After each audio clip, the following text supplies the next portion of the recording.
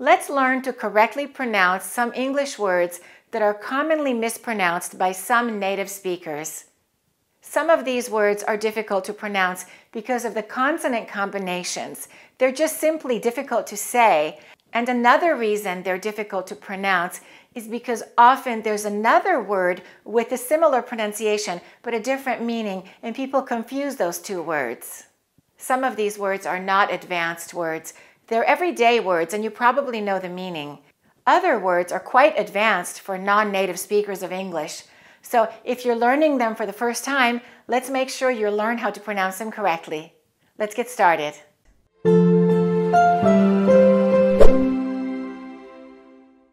The first word is asterisk. Let's pronounce that word. Asterisk. Pay attention to that SK ending. Asterisk. A common mistake is for people to say asterisks. Don't say that. Make sure you say asterisk. An asterisk is a symbol that looks like a star. In writing, it's a symbol used to indicate a footnote, something that you write at the bottom in very small letters. Sometimes you put an asterisk next to a word to draw attention to it. Please put an asterisk next to an item that you consider urgent. Please put an asterisk next to an item that you consider urgent. The following two words are sometimes confused by native speakers. The only difference between them is the extra R in one of the words. Listen to the pronunciation. Prostate, prostrate. You can see why they can be confusing, right? A prostate is a part of a man's body and it's located in the reproductive system. That test is used to diagnose prostate cancer. That test is used to diagnose prostate cancer. And prostate cancer is a compound noun, so we'll stress the first word and we'll link the words prostate cancer. Let's say that again. That test is used to diagnose prostate cancer. And prostrate is the position of the body. When you're down on the ground and your face is facing down on the ground, you are prostrate. I saw a man prostrate on the ground. I saw a man prostrate on the ground. The worshippers were in a prostrate position during prayer. The worshippers were in a prostrate position during prayer. How do you say the next word? Some native speakers don't pronounce the first C they say Arctic. You have to pronounce both of those C's.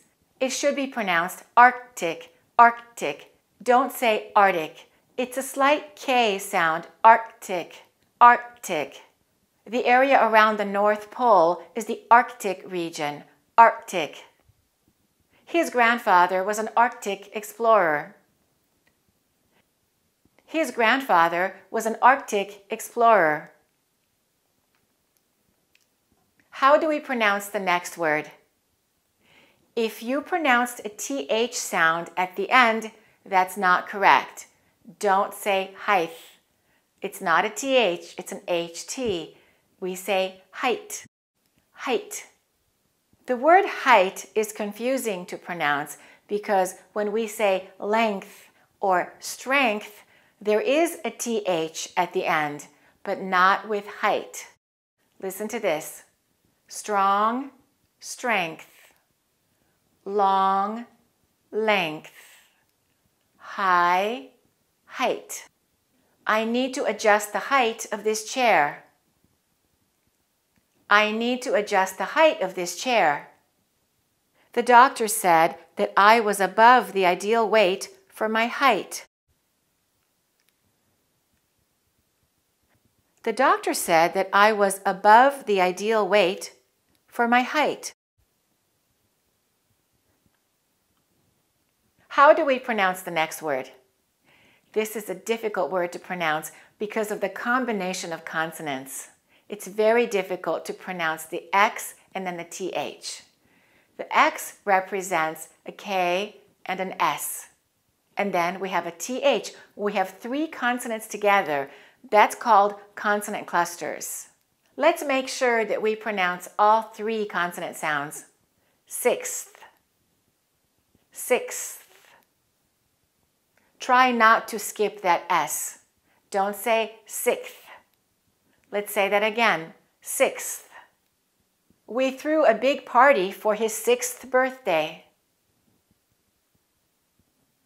Let's say that again. We threw a big party for his sixth birthday.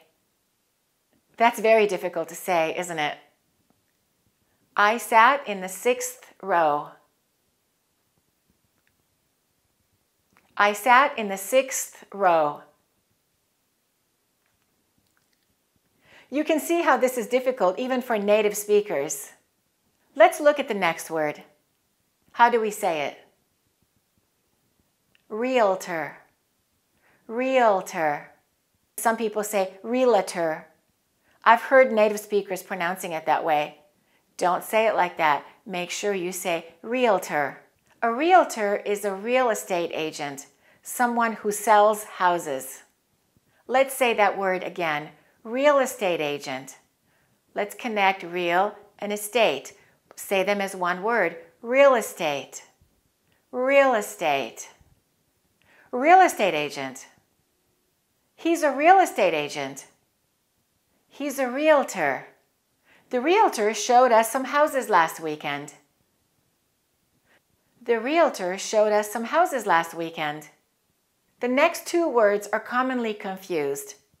The first word is sometimes incorrectly pronounced as the second word. Listen to the pronunciation. Supposedly. Supposedly. Don't say supposedly. That's a common mistake. Supposedly means something that is assumed or believed to be true, but it's doubtful. We're not sure if it's really true. He supposedly graduated from college. He supposedly graduated from college. Let's look at the next word. That's a very common word. Native speakers sometimes mispronounce it because there are two R's and they're difficult to say together. You will often hear native speakers say February instead of February. It should be February. You should pronounce both of those R sounds. Let's say them again. February.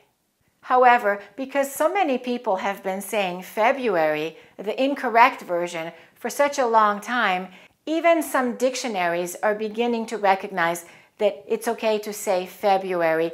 It's up to you to decide. I believe it's good to pronounce that first R and to make the effort to pronounce all of the consonants. Let's say that again. February. Valentine's Day is on February 14th. Valentine's Day is on February 14th. Let's look at the next two words. Let's say the first word, moot, moot. And the second word, mute. Moot, mute. You can see why they're confusing. There's a common expression with the word moot. People say it's a moot point. And the common mistake is when people say it's a mute point make sure you say moot. If something is moot, it's irrelevant. It's not important for the discussion. It doesn't bring any value to the discussion. I think you made the wrong decision, but it's a moot point. Nothing can be done now. I think you made the wrong decision, but it's a moot point. Nothing can be done now. And the word mute means unable to create sound, not able to speak. If someone can't see, they're blind, but if someone can't speak, they're mute. The boy has been mute since birth. The boy has been mute since birth. And on your remote control, if you would like to eliminate the sound, you have a mute button. I can't find the mute button on this remote. I can't find the mute button on this remote. Sometimes it can be an advantage to be a non native speaker. When you learn how to pronounce the words, you learn them correctly because you learn them as an adult. You don't pick up any bad habits. Don't be surprised if you sometimes find yourself correcting native speakers. The more advanced you get, the more this is likely to happen. You're learning the words for the first time as an adult, and you have to make sure you're pronouncing everything, so you're paying extra attention. The more advanced your English gets, the more likely it is for this to happen. To make sure that you're pronouncing English words correctly, I recommend that you read a lot on a wide variety of subjects and keep expanding your vocabulary. Also, listen to native speakers who use language well. Find good role models of speech. Thanks for watching, and don't forget to subscribe to this channel. And keep practicing your English. To learn all of the rules for a good American accent, you can buy my online video courses at AccurateEnglish.com.